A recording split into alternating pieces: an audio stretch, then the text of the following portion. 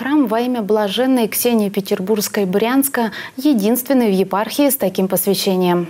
Поэтому, чтобы молитвенно почтить память святой, прославившейся подвигом юродства, там собрались прихожане и паломники из других приходов. Божественную литургию в храме совершил митрополит Брянский Севский Александр.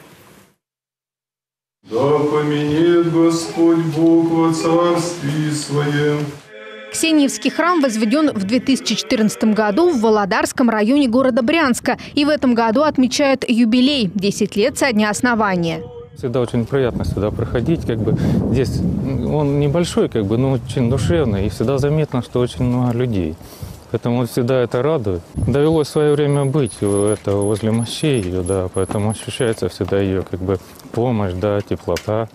В День памяти небесной покровительницы прихода литургию в храме возглавил митрополит Брянский и Севский Александр. Архипастырь напомнил житие блаженное и то, что она и при жизни, и после смерти откликалась на боль народа, на просьбы людей, с которыми они к ней обращались. И она избрала самый сложный подвиг, подвиг юродства. Когда человек умный, который видит каждого человека насквозь, она напустила на себя безумие. Все над ней смеялись и своим смирением, своим безумием снискала особую милость Божию.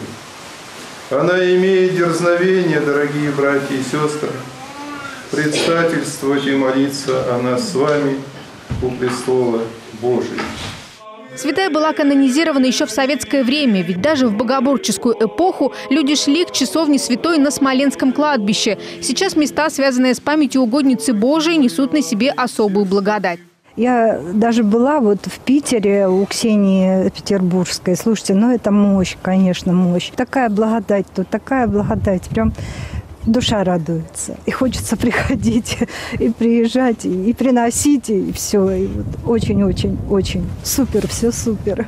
В настоящее время в храме Святой Ксении продолжается написание икон для нового иконостаса, работы над которым начались еще в прошлом году. И в скором времени белоснежный иконостас засияет золотом святых образов.